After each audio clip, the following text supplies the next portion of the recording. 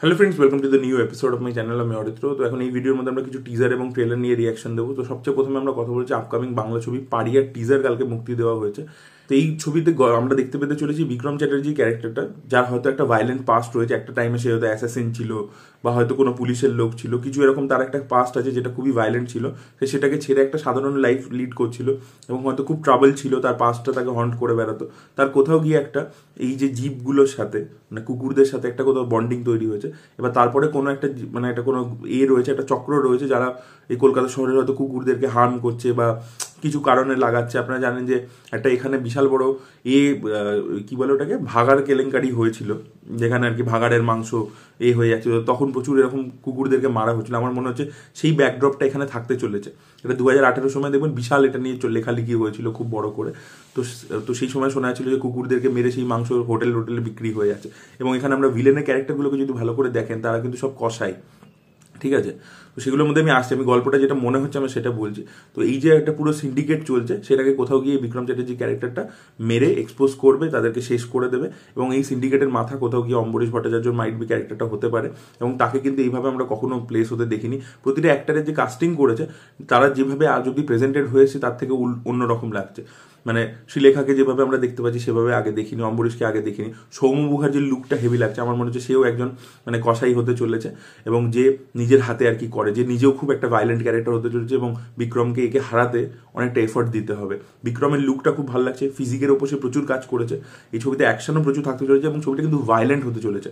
অ্যাস্থেটিক্সটা দেখবেন মানে অ্যাস্থেটিক্সটা যেরকম রেখেছে, সেটা কিন্তু মানে তার মধ্যে একটা মানে ক্রাফট রয়েছে কিন্তু। মানে কমার্শিয়াল মানে কিন্তু একদম হার্ড কোর লাড়া লাপ্পা টাইপের কমার্শিয়াল নয়, ঠিক আছে? তার মধ্যে একটা অ্যাস্থেটিক্স মেনটেন করেছে এবং সেটা মানে এই ধরনের ছবি ওই কোরিয়াতে হয়, ঠিক আছে? মানে একটা স্লো বার্ন অ্যাকশন ঠিক আছে? সেই ধরনেরই ভাবে টিজারটাকে কেটেছে বা দেখা যায় ট্রেলারটা এলে আরও বেটার বুঝতে পারব।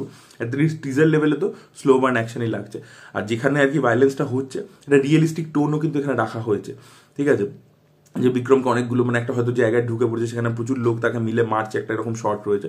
বেশি তারা রিভিল করেনি মোস্টলি বিল্ড আপ দিয়েছে। এবং একটা শর্ট যেটা খুব ভালো লেগেছে যে ব্যাক শটে আমরা দেখছি বিক্রম আর কি এটা ট্রাঙ্ক খুলছে, তার মধ্যে প্রচুর বন্দুক রাখা আছে।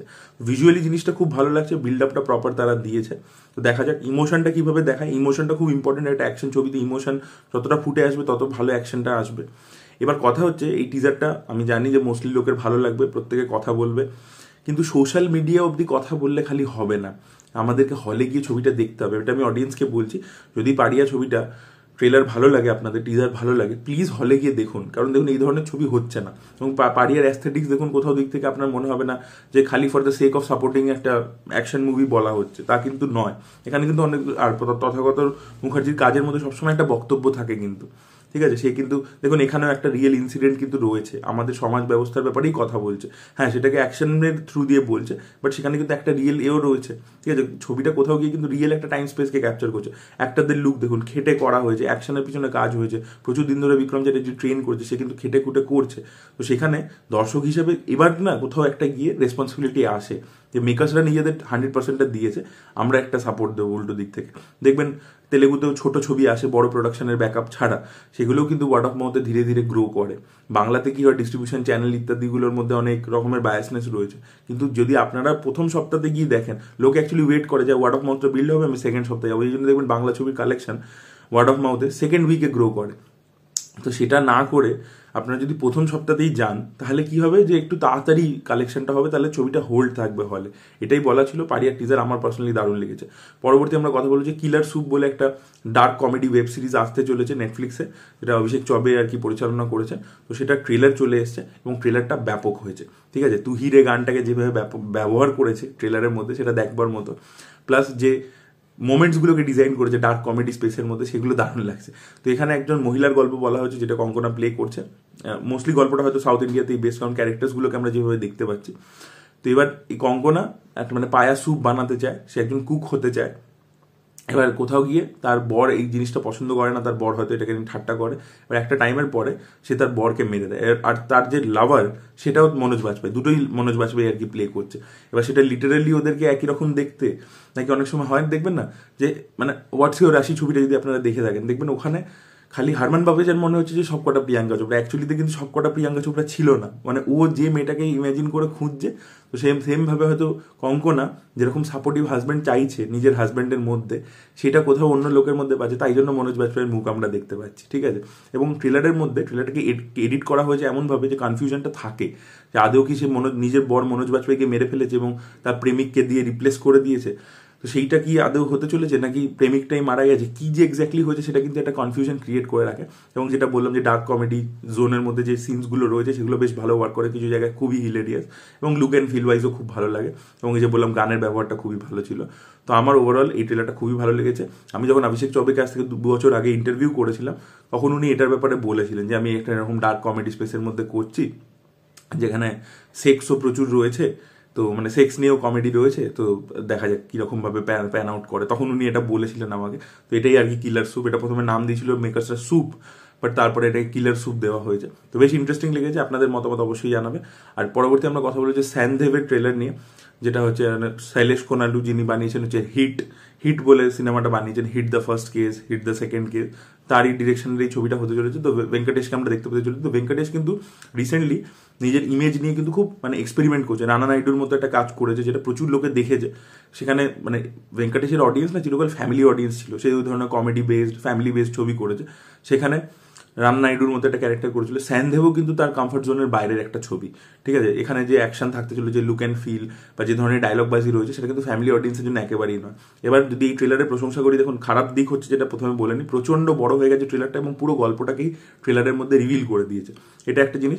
এবং হিন্দি ডাব ট্রেলারটা যদি বলি, হিন্দি ডাবিংটা খুব একটা ভালো হয়নি। তাই জন্য ডায়লগসগুলো ভালো হওয়া সত্ত্বেও সেইভাবে ল্যান্ড করছে না। এটা একটা মনে হচ্ছে এবং নওয়াজুদ্দিন সিদ্দিকির যে পোর্ট্রেলটা বা যিশু সেনগুপ্তর পোর্ট্রেলটা খুব টিপিক্যাল হয়ে গেছে। এরকম তাদেরকে আমরা তেলেগু ছবিতে বা নওয়াজুদ্দিনকে কিক ছবিতে এই ধরনের কাজ করতে আমরা দেখেছি। তো তাকে টিপিক্যালি প্রেজেন্ট করা হয়েছে, তার মধ্যে কোনো নতুন নতুন নেই।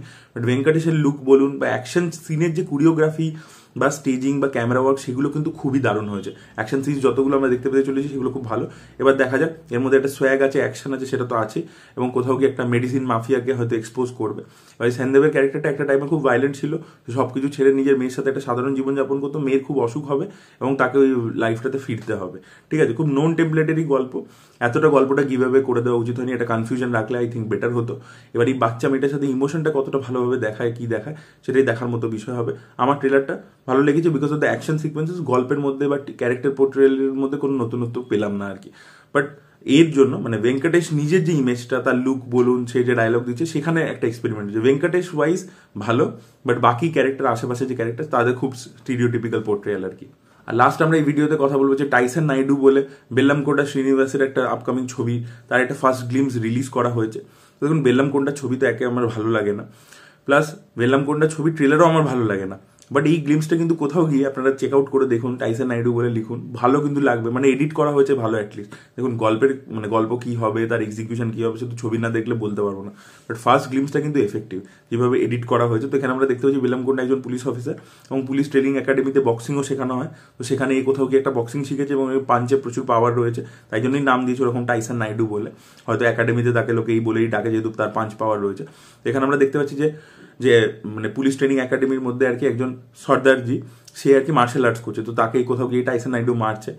আর দ্বিতীয়ত, আমরা বাইরে যখন দেখতে পাচ্ছি যে বাইরের কিছু সিনস রয়েছে, যেগুলোতে পুরোপুরি অ্যাকশনটা দেয়নি বিল্ড আপই দিয়েছে মোস্টলি যে বাইক ইত্যাদি নিয়ে লোকে আসছে, এ করছে, সেগুলোকে দেখিয়েছে। লুক অ্যান্ড ফিল ওয়াইজ বা যেভাবে জিনিসটাকে প্রেজেন্ট হয়েছে, সেটা ভালো লাগছে। বেলামকোটটা এক জায়গায় ডায়লগ দেয়, সেটাও বেশ ভালো লাগছে। আর লাস্ট যে শটটা যেখানে অনেকগুলো ওই রড হয় না, যেগুলো দিয়ে মানে ঢালাইয়ের সময় ইউজ হয় স্টিলের রড সেই অনেকগুলো রডকে এক, একসাথে করে একটা বাইকে একজন আসছিল, তাকে মাথায় মারে এবং সে ছিটকে পড়ে। ওই সিনটা যে স্টেজিংটা সেটা বেশ ভালো লাগছে। তো ওর অ্যাকশন বলুন লুক অ্যান্ড ফিল বলুন, বা ডায়লগ বাজি যেটা রয়েছে অ্যাটলিস্ট ফার্স্ট গ্লিমসের মধ্যে, সেটা কিন্তু বেশ ভালো হয়েছে। এডিট ভালো করা হয়েছে টিজারটা বা ভালোই লাগছে মানে ফার্স্ট গ্লিমসটা আর কি, ভালোই লাগছে। দেখা যাক এবার ট্রেলার টিজার এইসব এলে আরও বেটার বলতে পারব। ছবি এলে আরও বেটার বলতে পারব, যেটা খাজা ছবি হয়েছে। বেলামকোন্ডা থাকলে ছবি খাজা হওয়ার পসিবিলিটি প্রচুর বেশি থাকে। এবার সেই রেসপেক্টেই বলছি। এবার হয়তো হলো যে কেরিয়ারে একটা ভালো ছবি করে দিল, সেটা কখনো কখনো হয়ে যায়। সেটাও হয়তো করে দিতে পারে। দেখা যাক সেটা কি হয়। আপনাদের মতামত অবশ্যই জানাবেন কমেন্ট সেকশনে। এই ভিডিওটা ভালো লেগে থাকলে লাইক করুন শেয়ার করুন চ্যানেলকে সাবস্ক্রাইব করতে ভুলবেন না। Bye bye